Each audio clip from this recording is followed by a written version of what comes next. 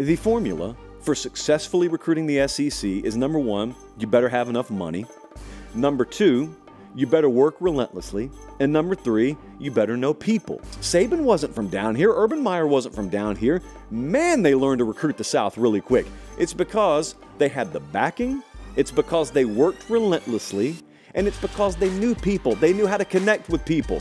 The only difference with DeBoer is unlike the two I just mentioned, he's unproven at the highest level. And number two, you look at him and he seems very docile, very nice, very serene. I think the SEC is about to learn a whole lot more about Kalen DeBoer than he's going to learn about the SEC. And he's learning a healthy amount about the SEC.